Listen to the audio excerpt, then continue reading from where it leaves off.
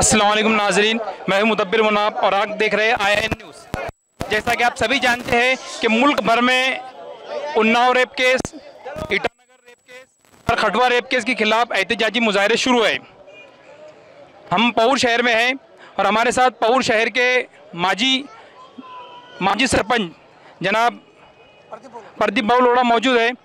हमें बताओ कि ये जो घटना हुई है, इससे क्या महसूस हो रहा है आपको?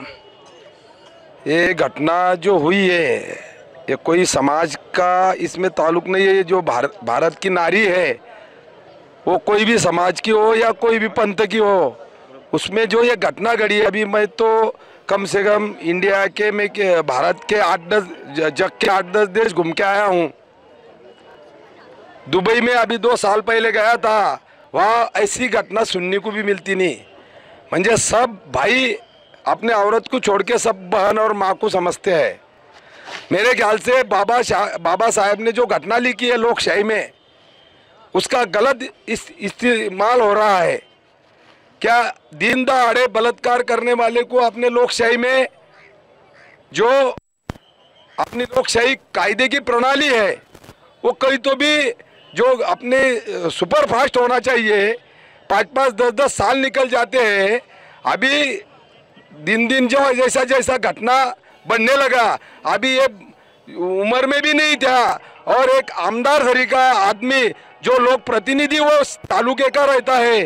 लोक प्रतिनिधि तरीका आदमी, जब ऐसे करेंगे तो देश में लोग सही बचेंगे क्या? और लोगों ने रहना कैसा?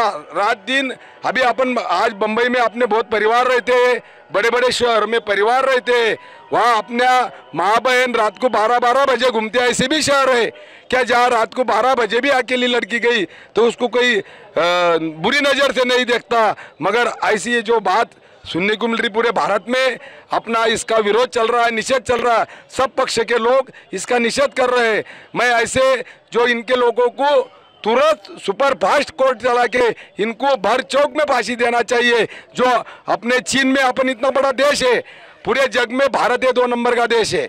एक नंबर चीन है, चीन में कभी ऐसा घटना कभी किसने सुना क्या? वहाँ हुक्म चाहिए। वहाँ कोई भी घटना घड़ी तो उसको ताबड़तोड़ सजा है। मगर अपने यहाँ जो लोकशाही प्रणाली का ज़्यादा गलत फ़ायदा होने जा रहा है दिखने जा रहा है।